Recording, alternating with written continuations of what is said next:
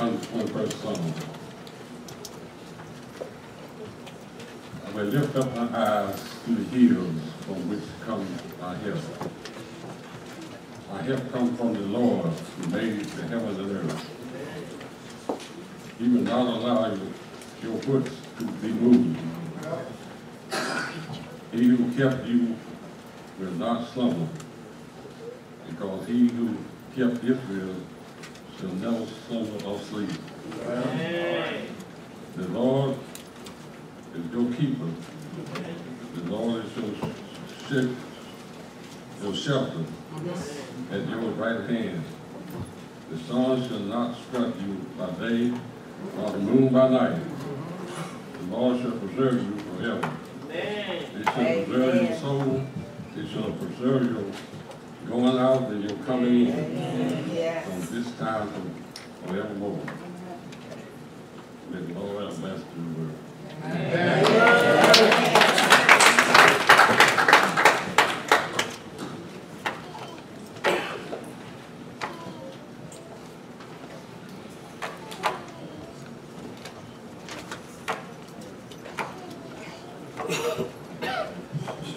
Good morning, family. Good morning. May I have your attention to this Minister Jones needs to see the ladies in the women's ministry for a brief meeting after church today. Can this be added, uh, uh, seven P M? We will have revival at Mount Tabor. Pastor Williams will render the message. The congregation is invited, and the male chorus will render music. On Monday, we'll have topical Bible study from 7 to 8 p.m. We are dealing with the life of David and his woes with his children. Now, Tuesday, we'll have noonday Bible study. We are studying from loneliness to fellowship. The EBC Dance Ministry will meet on Tuesday at 6.30 p.m. The Senior Usher Ministry will be meeting at 7 p.m. On Wednesday, we'll have prayer and Bible study. Corporate prayers from 7 to 7.30 p.m. And Bible study starts at 7.30 and goes to 8.30 p.m. We're studying the book of Acts, including Paul's trials from Jerusalem to Rome. All are invited. On Thursday at 6.30 p.m., the senior choir will have rehearsal in the fellowship hall. At 7 p.m., the gospel, the gospel choir will be rehearsing in the sanctuary. Uh, Saturday, we'll have missionary ministry meeting at 10 a.m. Uh, The women's ministry will meet after that at 11:30 a.m.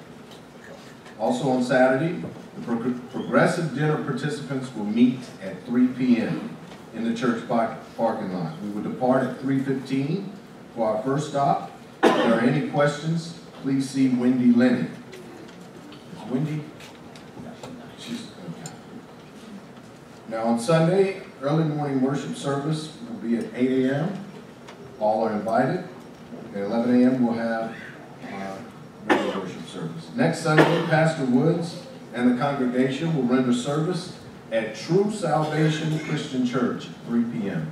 The gospel choir will be rendering the music.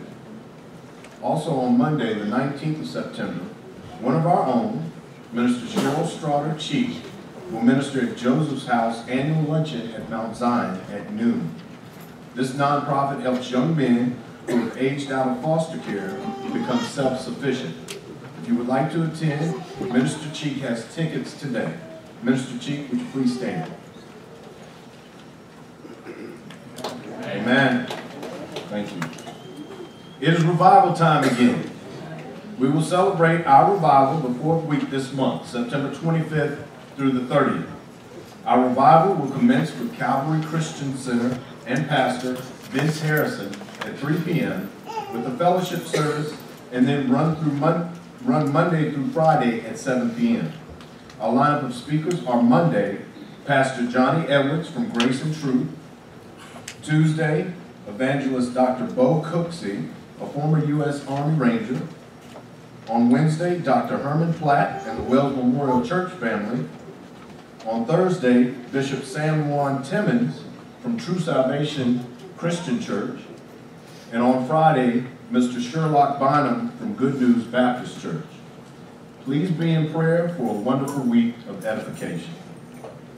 Ebenezer is looking for members that are interested in organizing a scholarship ministry. If you're interested in affecting the future of many of our young people, please contact Deacon Madden. Thanks. At this time, we would like to recognize all visitors. If you're visiting with us this morning, please stand and give us your name and any remarks you may have. Visitors, please stand. Amen.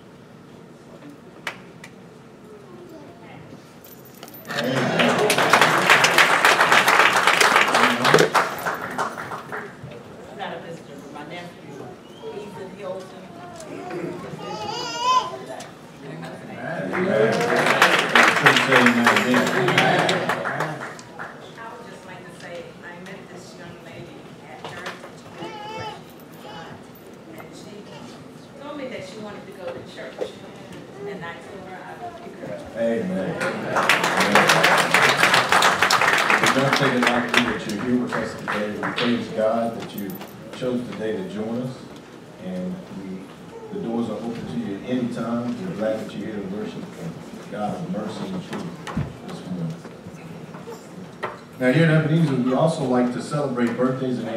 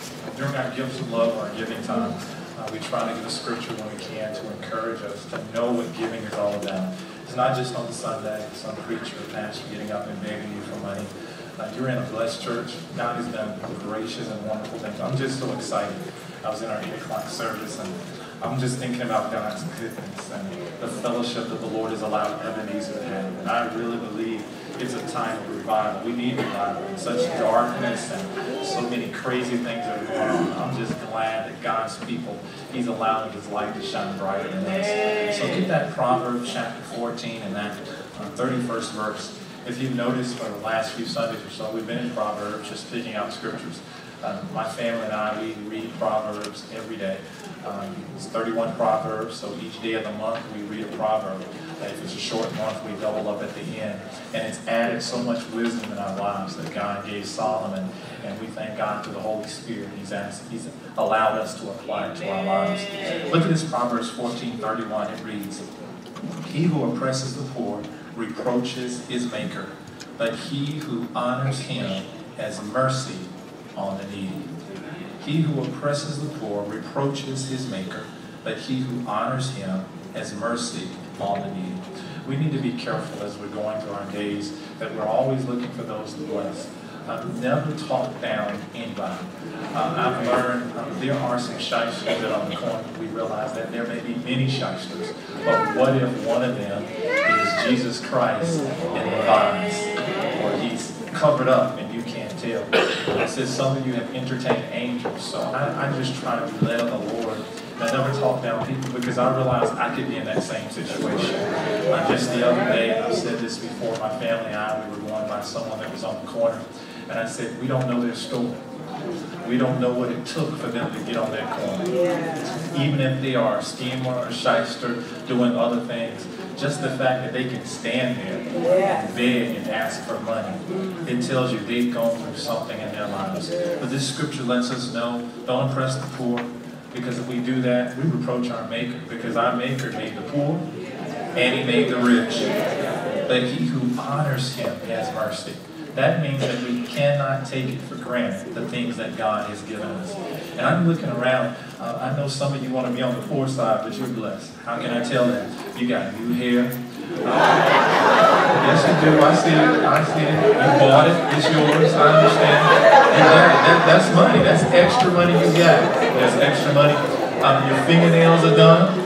Yes, yes, you, you were able to get polished to put on those. Some of you are so bougie, you got so much money, you can buy fingernails. Yeah, I know, I hear you. I you. A third, you got paint on your toes. You're not even wearing open-toe shoes today, yet your toes are painted. We've got clothes, man. We've got all of these things that God has blessed. Extra things in our lives.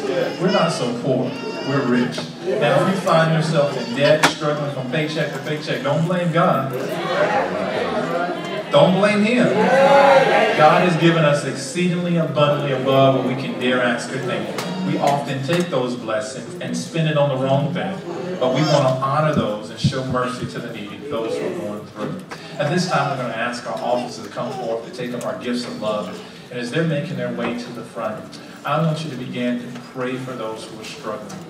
I want us to pray for those that are still uh, struggling with 911, the issues of the past, the struggles of the past, the memories. Those kids that have uh, lost daddies and lost mothers.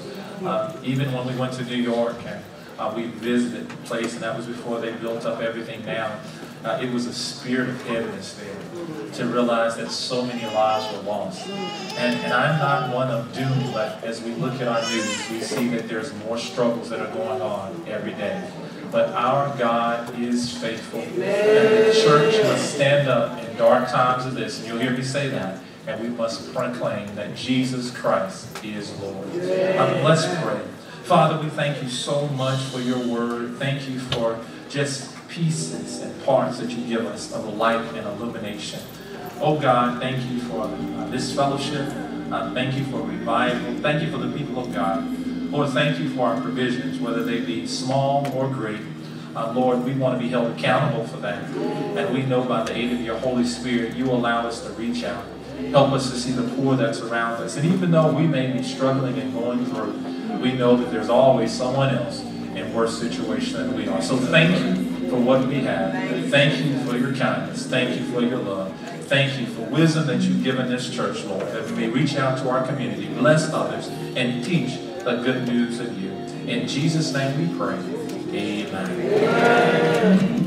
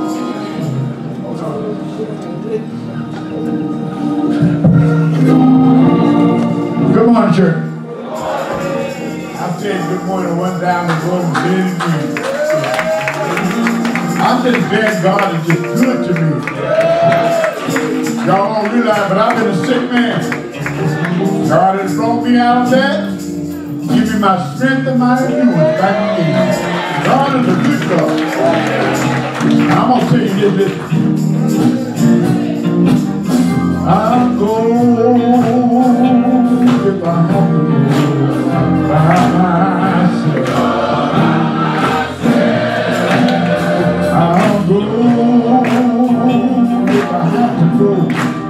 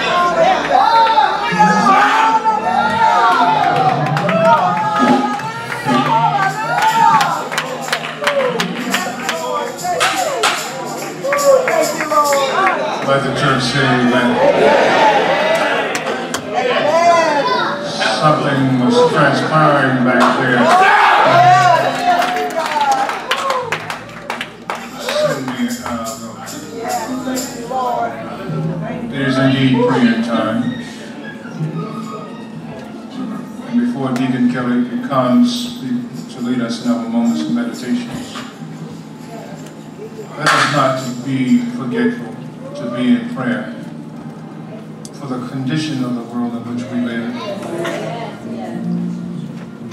I don't know what many of you realize it or not, but we are living in a very chaotic situation where uprisings are occurring everywhere. Well, law enforcement officers are getting killed daily where many of our own people are, are, are killing themselves or killing or committing uh, acts of murder. Where people are asking who you going to vote for. God already knows who's going to be our next president we should ask him to lift us up, open up our intellect, so that we may be able to make a conscious, conscientious decision for ourselves. Come on up, Deacon. Amen. Good morning. Good morning. Certainly good to see each and every one of you this morning. As Pastor said, when, you know, he was talking about the offering, we, we've all been blessed. God has just been so good to us, better than we deserve. Not only has he met our needs, he's given us many of our wants. All right. Let us turn the wondering parts of our hearts and our minds from the world and worldly things and go to the Lord in prayer. Father, we come before you this morning in the most humble spirit.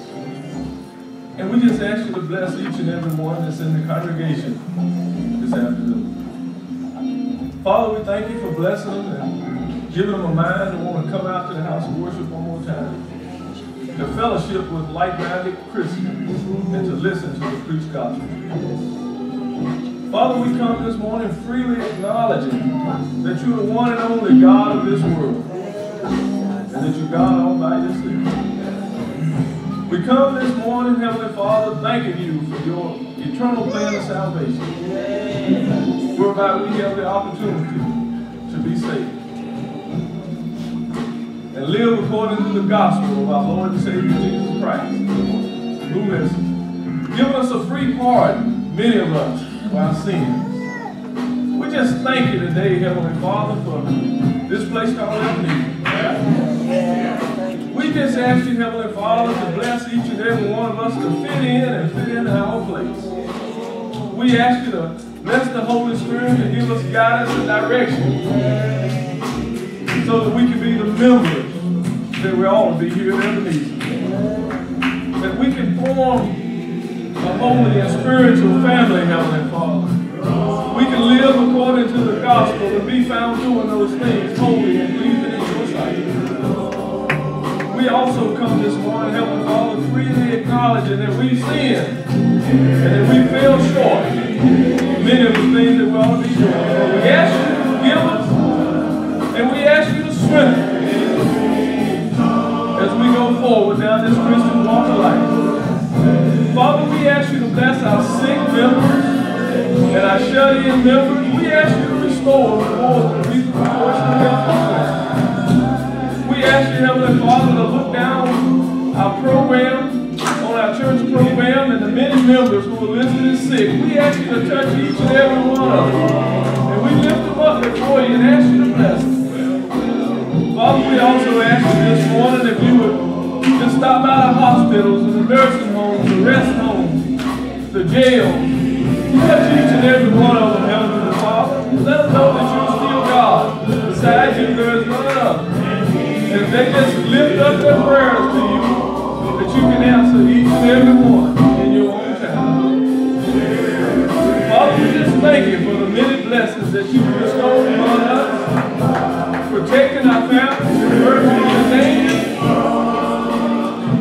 giving us a mind, Heavenly Father, to come to church and the Bible study and go back out to our community, being careful to share the gospel with us. Let the fallen world know that Jesus Christ is real, not a fairy tale. He's real, and that all his promises are true. Father, we lift up our pastor this morning, and we ask you to feel the hands of protection around him, protecting him, Heavenly Father, from the arrows and the wiles of Satan. We ask you to continue to give him more and more wisdom and knowledge and understanding of your righteous and holy word. As the leader of this church, Heavenly Father, he'll be found doing things that are acceptable in your sight. Father, we love you this morning. And we just thank you for your grace and your mercy.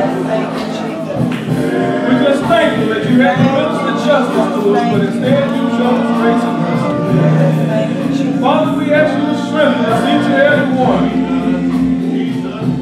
Because we found out as we go through this Christian walk of life, Satan is out there. And he sets traps for us. And we need you.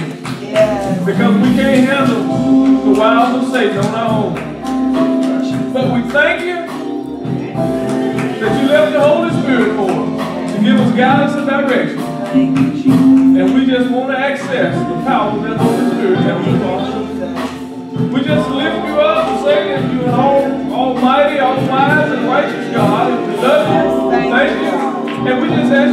you to bless us each and every day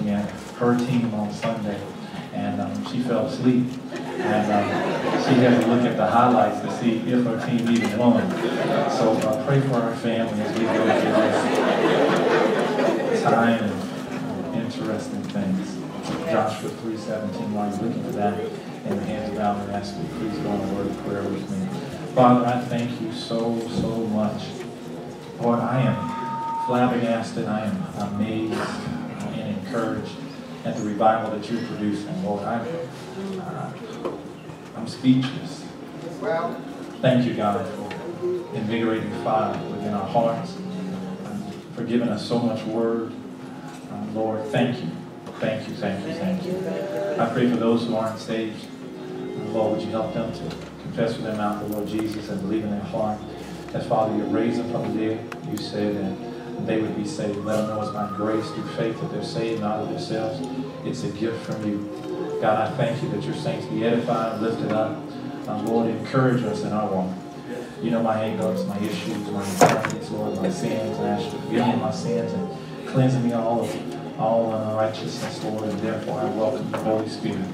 Holy Spirit, would you teach us? Would you guide us? Would you lead us into all truth? Would you make this word so plain, so easy to be understood that even a small child can be transformed to be like you? Would you be in my eyes and my seeing, my mouth and my speaking, my heart and my understanding? We need your anointing, Lord, to speak again to the tender part of us, where all permanent change takes place. Fill us up again, that we may glorify you. In Jesus' name, amen. And Joshua 3.17, Then the priests who bore the ark of the covenant of the Lord stood firm on dry ground in the midst of the Jordan. And all Israel crossed over on dry ground until all the people had crossed completely over the Jordan. 3 and 17 again. Then the priests who bore the ark of the covenant of the Lord stood firm on dry ground in the midst of the Jordan. And all Israel crossed over on dry ground until all the people had crossed completely over the Jordan. I want to speak on the subject today. We made it over. All right. We made it over. If you could look at your neighbor today, uh, some of you haven't spoken, just came in, slid in. Uh, you don't even know who you're sitting beside. So if you don't know them, tell them your name or something. First name, last name, doctor, whatever you are. Uh, greet them a little bit.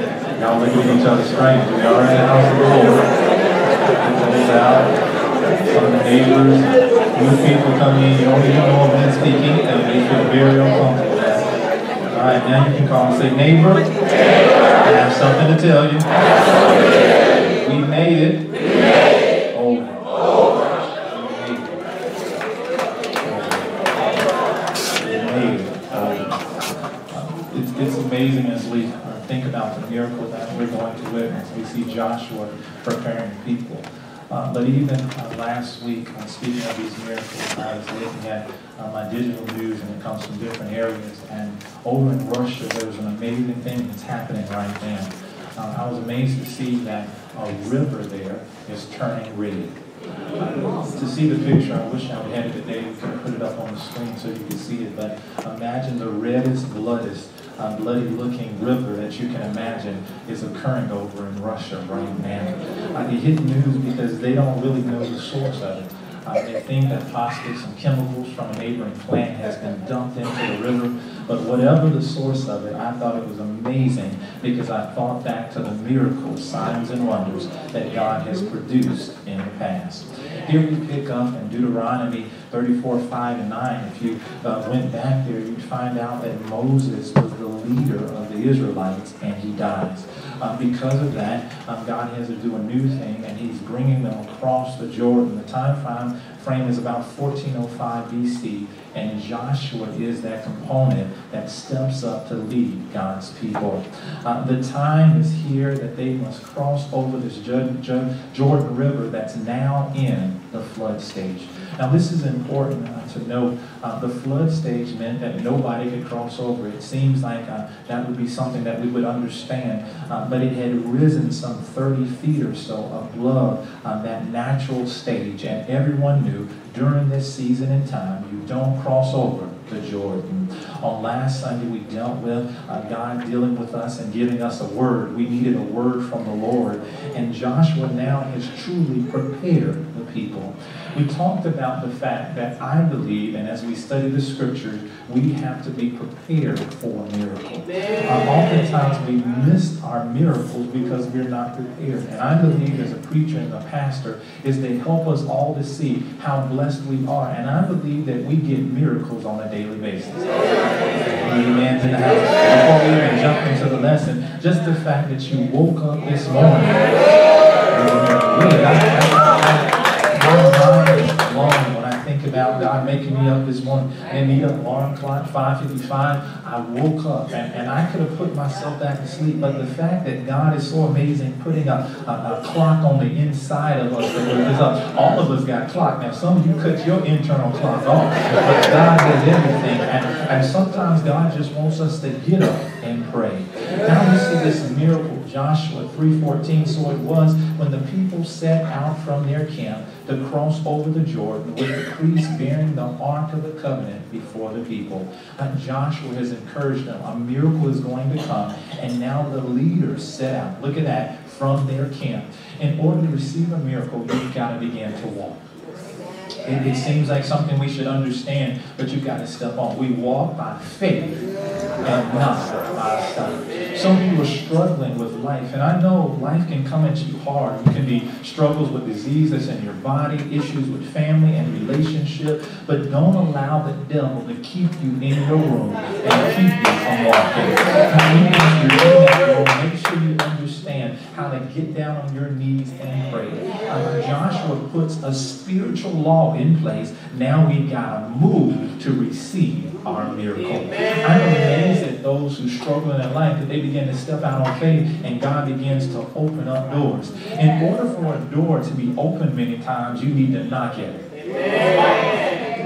You're not hearing me. In order for a door um, to be open, you need to knock at it. Now, now there's sometimes, I agree, you can go up to a door and people have cameras and they have dogs and you don't need to knock, they're already there. But it's always strange when you haven't even knocked and the door opens.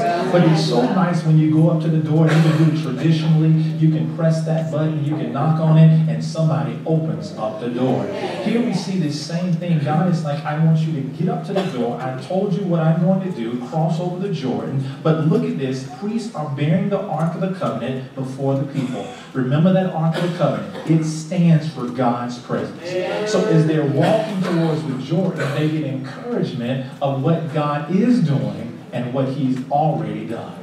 This helps our walk of faith as we talk about we made it over to realize if we can continue to think about what God is doing and what He's already done, it encourages us in our walk for the future. And this is key. You got to know that since God did it last week, He's still able to do it this year. Since He did it last year, I, you may be in a, a link, and you ain't had a miracles in a long time. Your miracles have run dry. But God has done so much five years ago. Five years ago. Five years ago. And you're asking God for more miracles. And God said, just look at the covenant. Look at my promises. Look what I already did. Five, ten, 15, 20 years. What I did then was so big, you should still be shouting. No matter what is coming, you may be in a dry spot in your life, but what I did so many years ago, Joshua 3.15, and as those who bore the ark came to the Jordan, and the feet of the priests who bore the ark dipped into the edge of the water, for the Jordan overflows all its banks during the whole time of harvest. Uh, look at this. Uh, the, the, the priests, they had to have so much faith to step out. It took courage of the priests to even step into the water.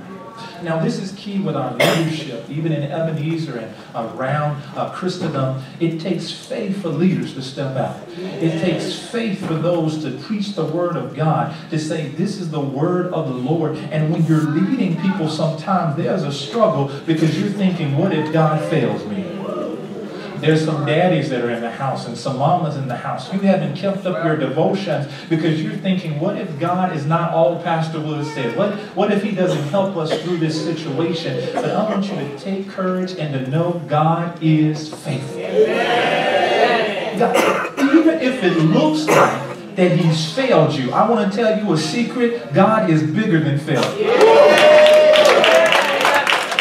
Anybody had failure that was turned around? Yeah, you, you, you thought it was, you thought this was, wow, God, you have failed me. And then God did something that was amazing. He took your failure that broke you down so much, and you realized it was the failure that made me strong. Y'all made, made it over here.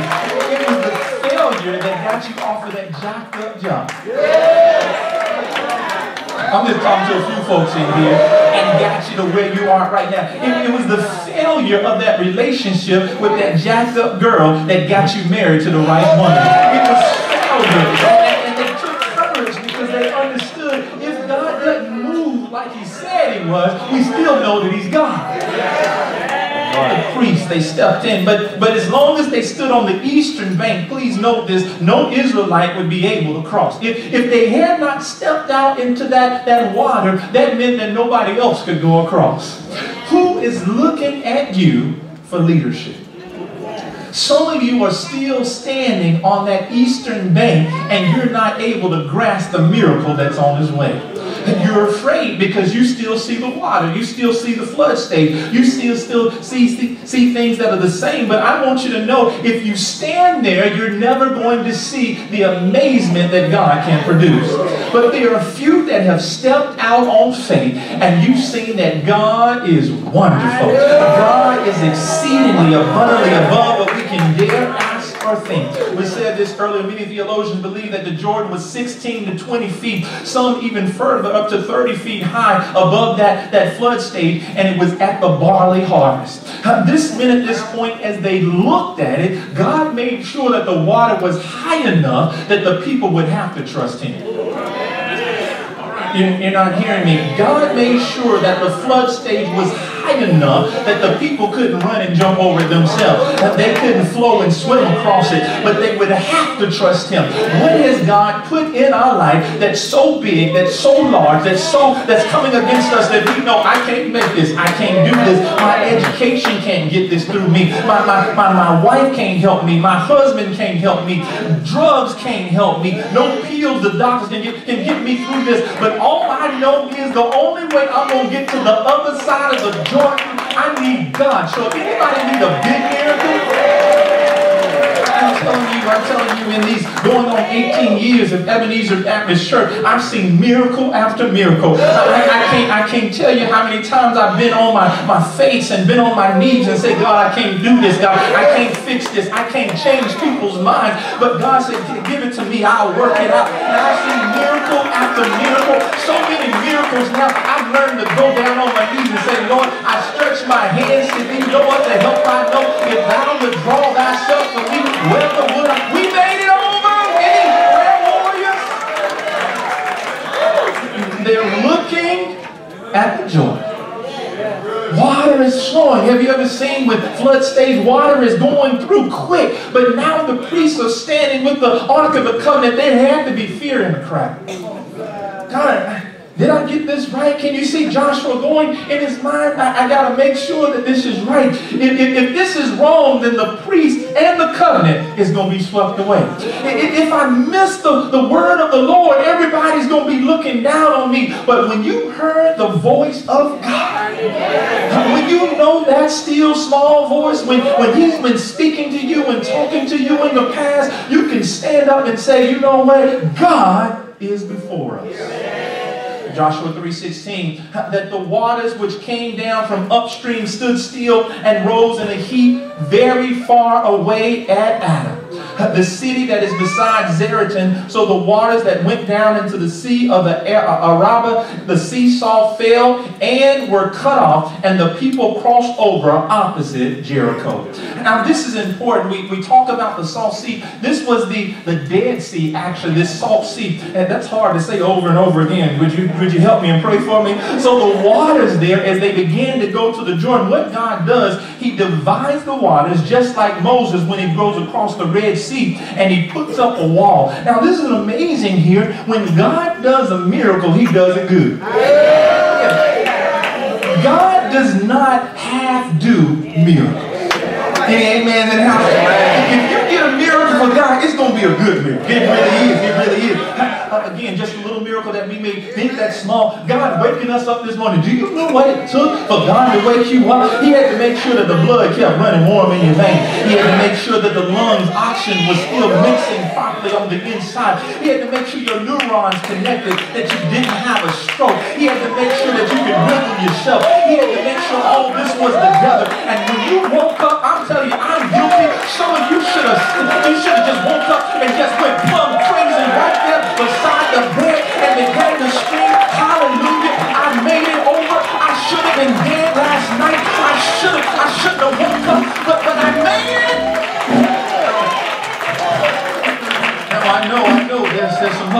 husband and you say, if my wife get up doing that, I'm going to think she lost her mind. But every now and then, when you think about how good God is been, there should be some Pentecostal praise. You know what? It's, not hard to praise Him in church, but I'm looking for some people on the outside of the church that every now and then will just cut them up. I wait for some folks that are in the parking lot when they think about God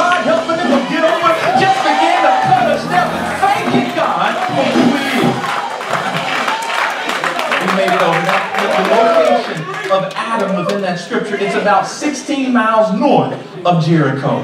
This means from the Dead or the Salt Sea to the Jordan, God made approximately 20 miles of dry land. God upstream said, I'm going to stop that flow, I'm going to dam it up, and I'm going to make sure that they got plenty of space to walk over.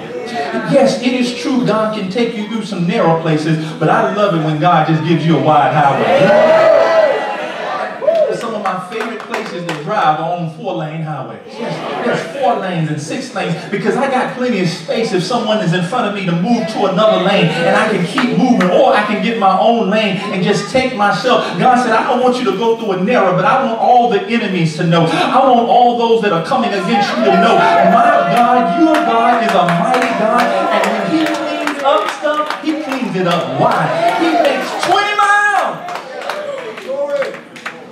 This 20 miles of dry land. I want you to start looking around in your life and see what God is cleaning up. See, some of you have missed it. Some of you have missed it in your life. Some of you were struggling two years ago, but look what God has done for you now. Some of the prayers that you forgot you prayed, God has already them, and you're walking in the prosperity and the blessings of those of those blessings that were, were answered uh, months ago, and you done forgot. You're walking around on dry land, and you should be floating right now.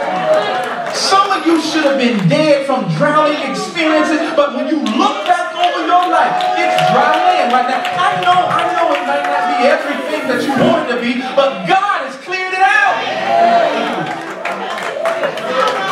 So 20 miles of dry land. The priests step out. 317. Then the priest who bore the ark of the covenant of the Lord stood firm. Look at this. On dry ground in the midst of the Jordan. And all Israel crossed over on dry ground until all the people had crossed completely over the Jordan. 20 miles. These priests, they, they were able to have faith and they put their feet into that muddy Jordan. But when they put their feet in that muddy Jordan, the miracle began to be produced. All of a sudden, God began to clear up. It's so good to see the mighty hand of God enabling the Israelites to cross right over the Jordan. He, he could have allowed them to walk over in mud, but he made it dry. There, would have still been a great miracle if it would have been muddy across there. But then I tell you, God, when He does something, He does good. He said, He said, this is so awesome. I want you to take your sandals, and those who follow the priest, when you walk across, I don't even want your sandals to get muddy. I'm telling you, some of you are going to be blessed today when you think about all the places God has gotten you through, and when you looked at your shoes, they were still shiny mom can remember this. My, my dad was gifted with, with this ability. Uh, uh, we would have to do uh, funerals and things of that sort. And he was always able to go across muddy graveyards and not get his shoes dirty. I, I, I don't know. I'm, I'm, trying to practice that. Uh, he was. He could, could go across. I don't know if he knew the right spots or he walked lightly. I don't know what it was. My daddy, he was kind of flamboyant. He wear yellow shoes and things, white shoes and all of that. But when he would walk across the grass of the day, he go have dirty shoes. But when he would get to the grave site and back, he would look at his shoes and no mud would be in between. I was, I was amazed at that. And, and maybe just for that, for that moment, God said, I'm just going to bless you. I, I, like your shoes too. And I like how they shining too. And, and because you're a child of God and, and you're trying to do the best you can, I'm going to allow you to walk across the graveyard and not get your stuff dirty. I'm telling you, anybody know a God like that? I mean, making it over, that when you get over, many times you won't even have no dirt on you. you I, I, I, I'm excited. I'll get over with dirt on me. I, I, I'll get over with mud on my shoe. But when God said, you know, I'm going to shine your shoes for you, I'm going to clean your clothes up for you, I tell you, that gets me excited. When they get to the other side, they look down at their feet and their feet is still clean. You know, God, 20 miles before them. We see the priest there standing there in the middle. Uh, one person after one person goes across the Jordan, and God keeps the water back until the priest get over with the Ark of the Covenant. That's why leadership has to step up. We've got to step out on faith and stand in the midst of the Jordan. We can't run when people are walking over, but we've got to stand there and say, you know what, God is doing this. He made it over. And then after all the made it to the other side, then the covenant of the ark was on their shoulders, and the priest began to walk part. And when they got to the other side, all of a sudden the water began to come down the Jordan. Every now and then you need to look back where God has brought you from. You need to look and say, God got me over that flood state. God got me out of the hospital. I tell you, I said this over, we made it over. Every now and then when you ride by Moses Cone and Wesley Long and, your High Point Regional and all of those, if you know what it is to be like that, you should just stop your car beside the hospital and give, give, give God some praise and some there, you should walk and visit somebody. Now, don't get too crazy because uh, security might have to take you out, but I dare you every now and then when you're walking through the hospital to visit someone else, say, God, I thank you for making it over. That could have been my room there. That, that could have been my name on the plaque there. When you go to the nursing facility, if it ain't for you, you to say, God, I thank you that, that they're not keeping me in this place, but that I can make my way out. And we made it over. I'm reminded in the gospel in Matthew 14, 22. Immediately Jesus made his disciples get into the boat and go before him to the other side while he sent the multitudes away. And when he had sent the multitudes away, he went up on the mountain by himself to pray. Now when evening came, he was alone there. We made it over. And in the gospels, we see Jesus was setting them up for a miracle. I'm so glad of what Joshua did by leading the children of Israel across the Jordan on dry land. But I'm so glad that God can set up stuff. He can make sure we understand that it's all about his mighty hand. Notice in Matthew 14, 24, it said, But the boat was now in the middle of the sea, tossed by the waves, for the wind was contrary. Some of you are in your boat going across the river. You're on the sea, and all of a sudden God has allowed a storm to come up. But I want you to know if you got God on your side, if he did it with the Jordan and Joshua and the Israelites, he's not concerned about your little boat trouble. You ought to look at your neighbor and say, it's just boat trouble. God is able to control the sea. He's able to control the storm. If he did it in the Old Testament, I know that he can do it now. Now in the fourth watch of the night, Jesus went to them, walking on the sea.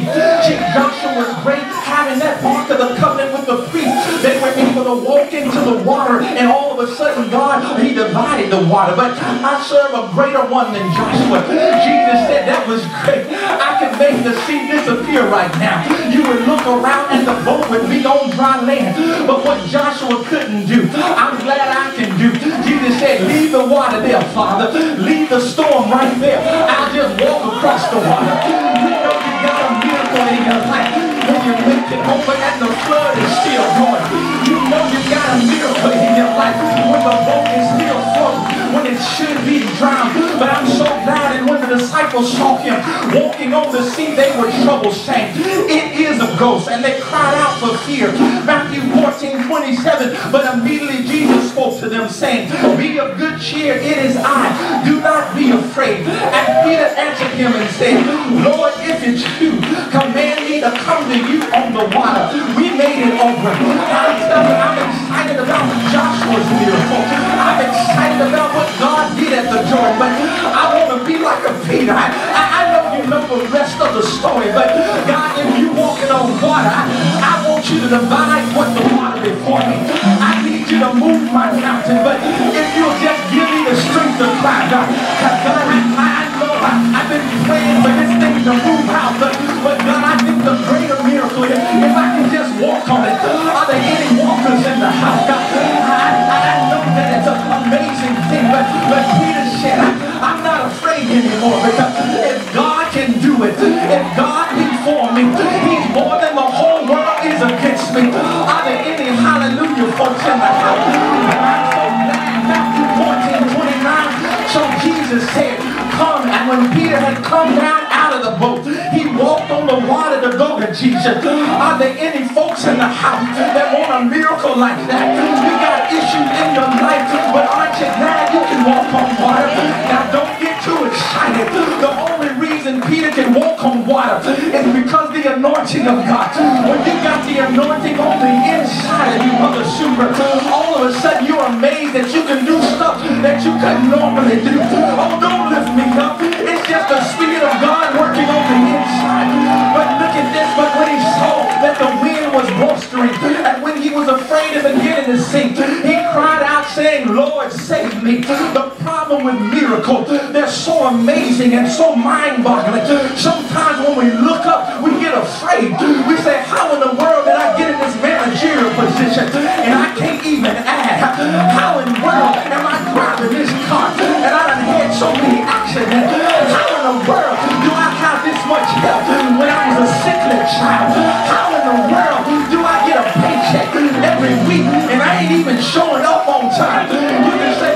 It over. God has blessed you in spite of yourself.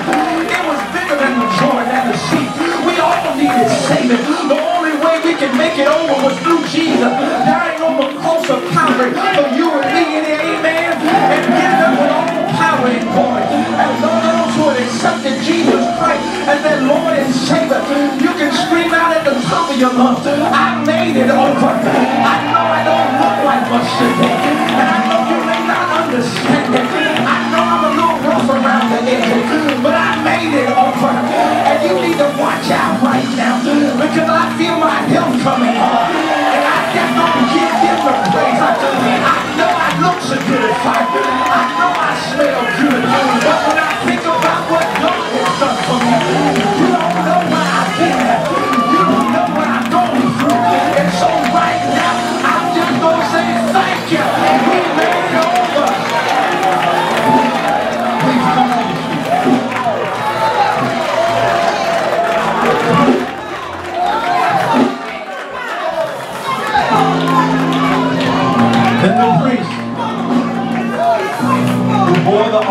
covenant of the Lord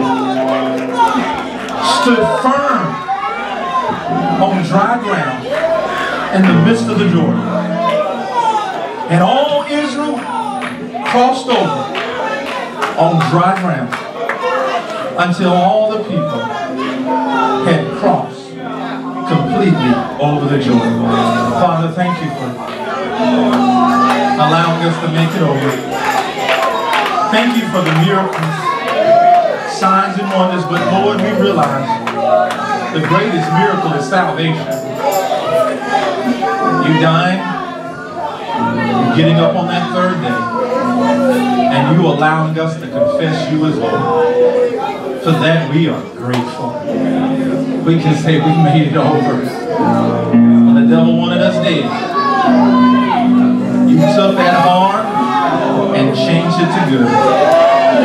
We got a testimony because you allowed us to go through a test. So that we're. We couldn't thank you in the midst of it. But now that we're through, we look back at our joy. We look back at us walking on the sea. We say thank you. We say thank you.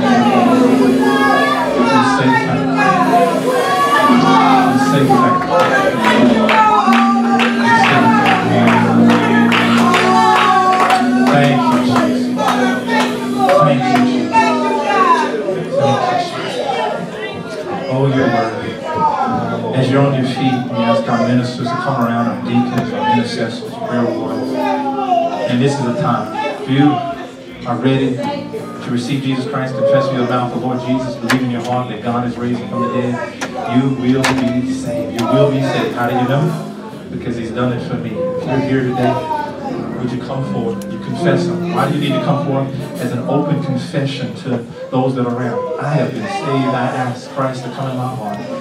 And he's faithful. He's so faithful to do exceedingly abundantly. He said that earlier about who can dare ask or think. If you're here today, ask him in your heart. And make that step of faith. If that's you, we ask you to come forth at this time and grab somebody's hand and say, I'm ready. I am ready. I am ready. I am ready. Maybe you're here today, you say, Pastor, I'm saved, but I need to rededicate myself. I realize I made it over. I haven't been giving God the praise the way I should. There's some stuff that's in front of me, but I'm not worried about that anymore, what's in front of me. I'm going to go ahead and thank God what he's already taken me through. If you're here today, come on forth, rededicate yourself. Say, God, just want to thank you. And maybe you're looking for a church home. a Christian experience or by letter. Uh, maybe Watch Care, maybe you're a student at one of our local colleges and you're here and mama told you, don't you move your membership. We got something for you. It's called Watch Care. You want to be a part of Ebenezer, just a covering. You want to keep your membership at home. We bless that. We just want to make sure that you're held accountable, that you're encouraged, that you're receiving the word of God. We invite you to the altar. Our final invitation, if you're here today and you just stand in need of prayer, you want to bring forth your family, you want to come around the altar, you want to get close as we prepare our hearts for prayer, we invite you forward this time. Would you come? God is so good. God is so good. Interceding for loved ones. Come on forward. God is faithful. God is faithful. God is faithful. Oh, He's faithful. God is faithful. God is faithful. Hallelujah. The still room. Come on forward. Oh, God is faithful.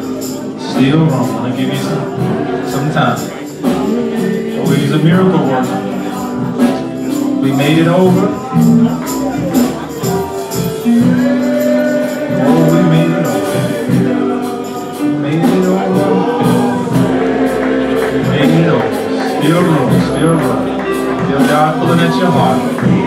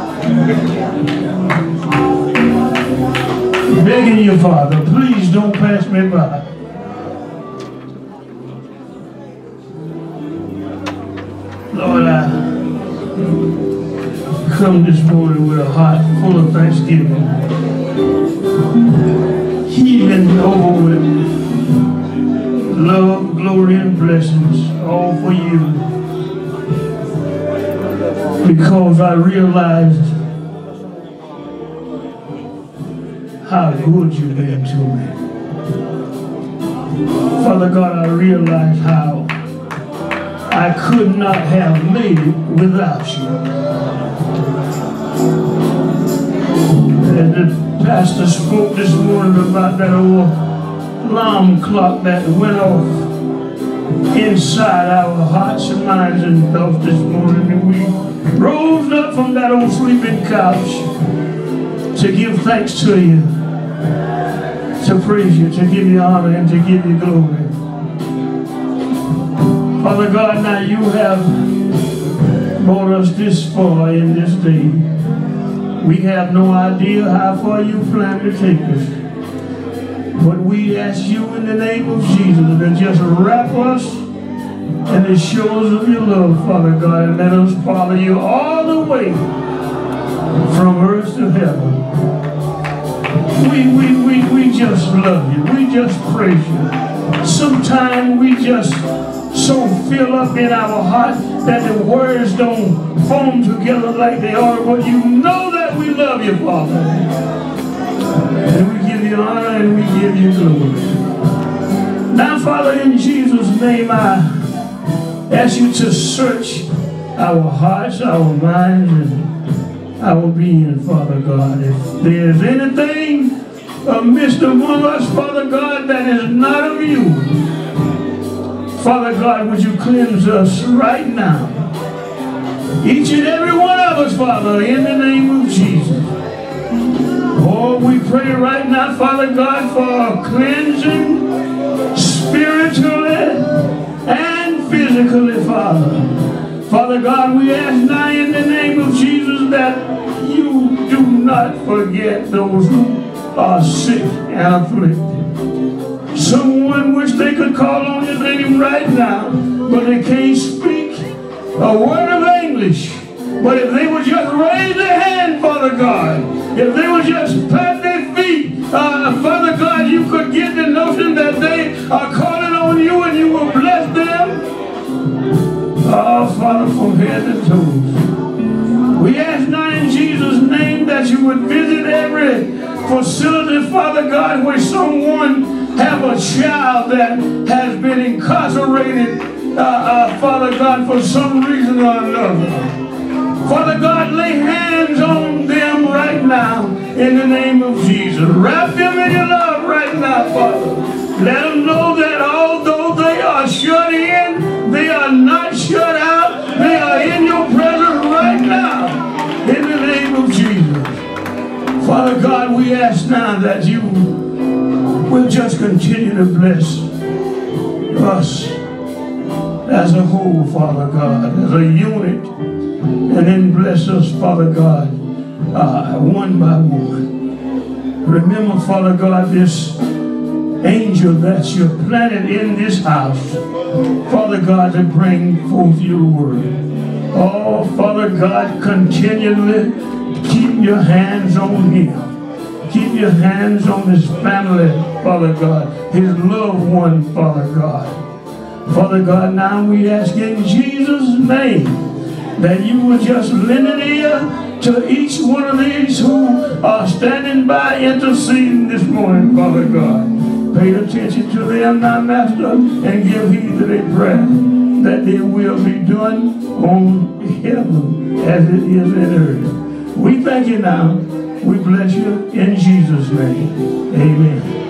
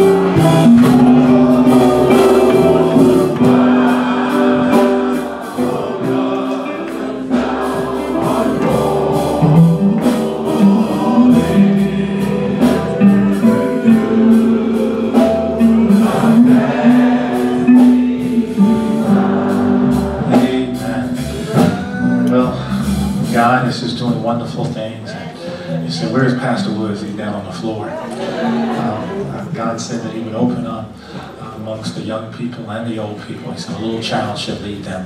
Uh, we've got one that's standing before us, and I'm going to ask her to give her name and why she stands here. My name is Kayla Robinson, and I'm here, and I want to go to heaven. Is it all right? We prayed with her. She's confessed Christ. Our brother Deacon's here with me. She's asked Christ to come in her heart. She's confessed that the Father has raised him on the third day from the dead, and she wants him, uh, Jesus, to be her Lord and Savior. Uh, we can't save, but God can. Uh, it's by grace that we're saved, not of ourselves. But Brother Deacon, she wants to uh, go through the symbol of baptism uh, and be a full-fledged member of our Ebenezer Baptist Church. How should she be received?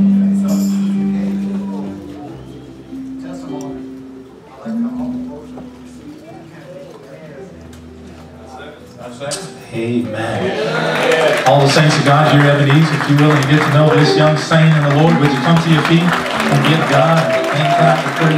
Amen. Hallelujah.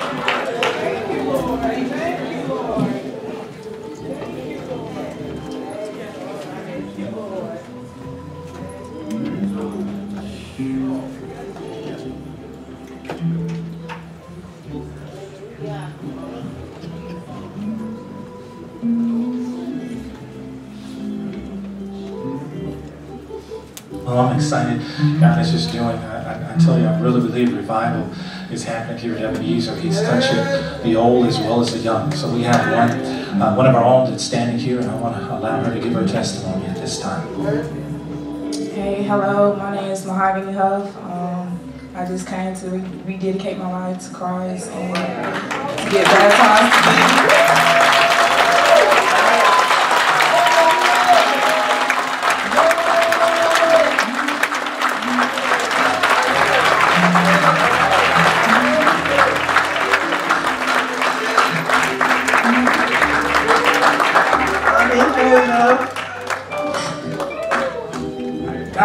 Put me through things in life to test me, and I thank God that I'm here this day. I've been strong to overcome.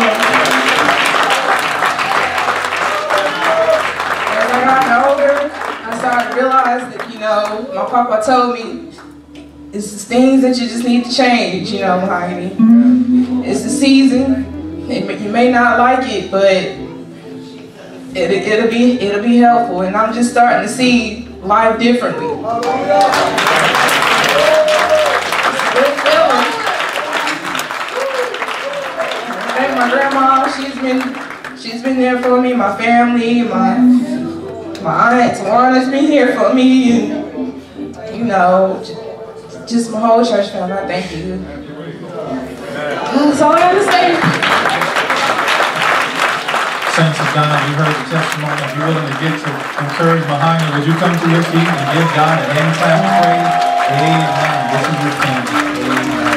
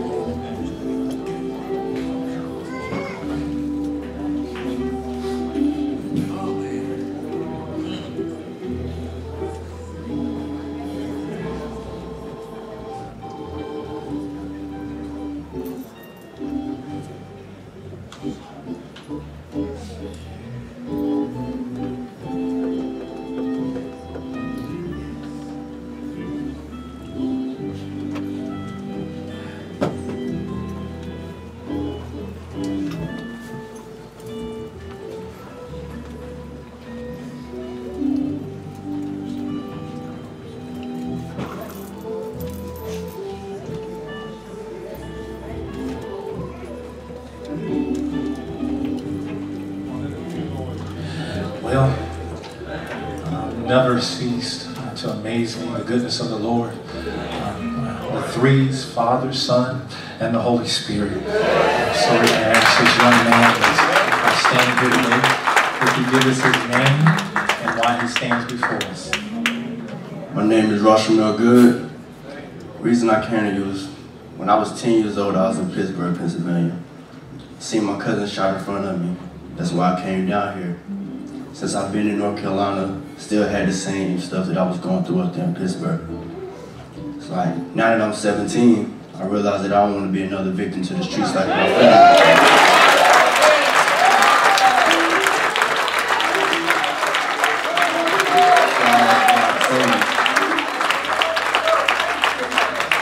Family's uh, been in the church. I don't want them to lose me as I don't want to lose them. That's why I asked God to come into my life. And I provide really food for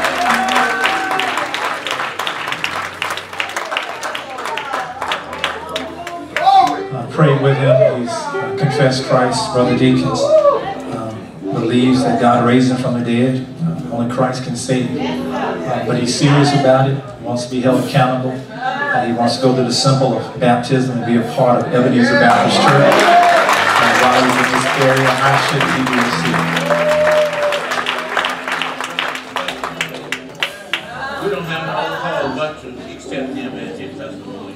Provide that insight. Amen. You've seen the deacons that are standing and feel that God is up to something. Ebenezer, I, I want you to think about this. If you're willing to come to your feet and encourage him, he needs encouragement. Would you come and give God a hand clap? First? Get to know him. Don't let him go. The devil will be after him. Don't let him go. Come on, can you give God a hand clap for praise? Hallelujah. Hallelujah. I think it's a good time for communion, don't you? Amen. Well, at this time, um, I'm going to ask um, one of our deacons, uh, Deacon Lenny, uh, would you pray over um, the bread and the juice today? Dear Heavenly Father, we just come in the most humblest way we know how. We thank you for everyone the blessing come out to the service today and that, that we have heard. Father God, we come now as we come to be partakers of this communion. We ask you to bless this bread, bless this juice, and the Father, for your broken body and your spilled blood, not for some sin, but for everyone's sin. So we all have a chance to be saved. And Lord, we have miss heaven, it's nobody's fault but ours. So, Father God, just bless us all. In Jesus' name we pray. Amen. Amen.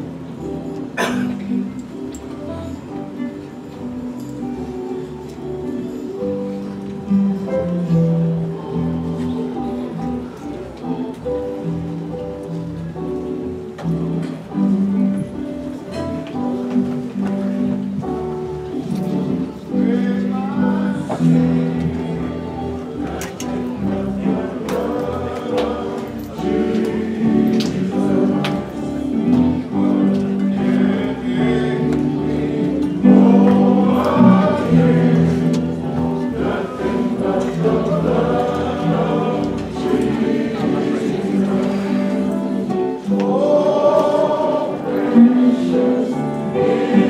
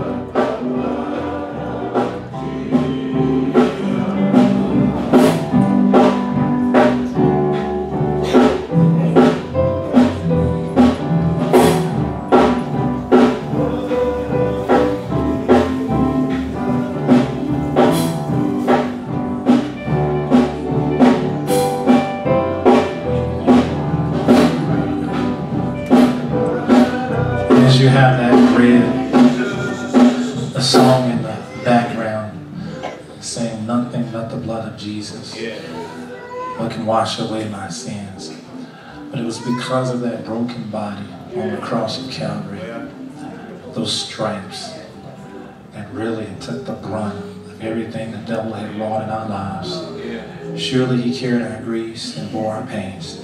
That we did esteem him stricken of God and afflicted, but he was wounded for our transgressions. He was bruised for our iniquities. The chastisement of our peace was upon him, but with his stripes we are healed. Let us eat in remembrance of him. As you grab the cup, as he was in that room, that final Passover before his crucifixion, he took the goblet of wine, raised it up before them, and said, This represents my blood that's going to be shed for you. As often as you drink it, do it in remembrance of him. Let us drink together. Hallelujah.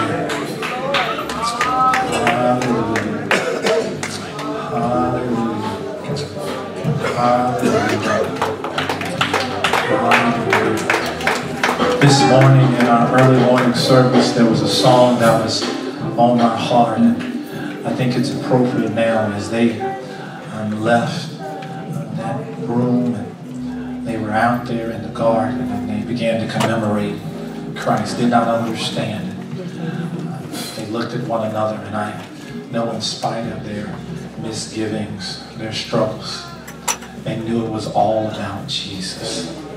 Anybody know it's all about Jesus? And because of that, we need to bless him today. We need to bless him today. I will bless the Lord. Oh, my soul,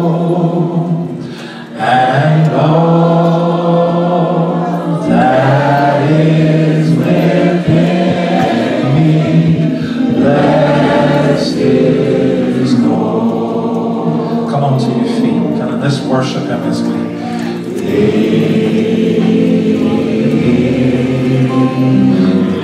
Anybody want to bless Him? I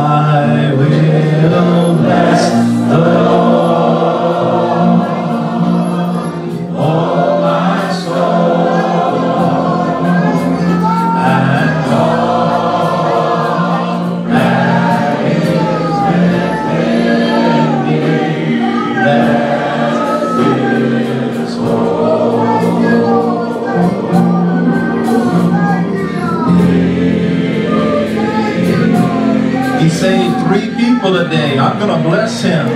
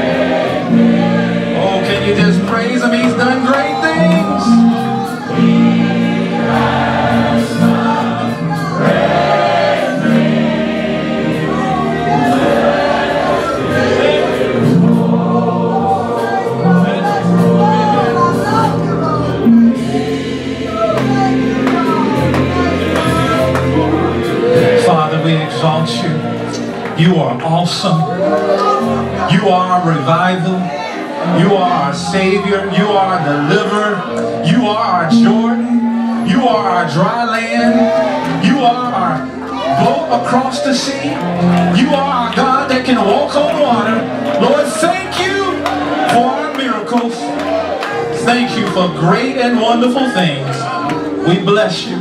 Now may the grace of you, Lord, and the sweet communion of your Holy Spirit rest, rule, and abide with us henceforth and forevermore. In Jesus' name we pray. Amen. Can you greet somebody before you leave today?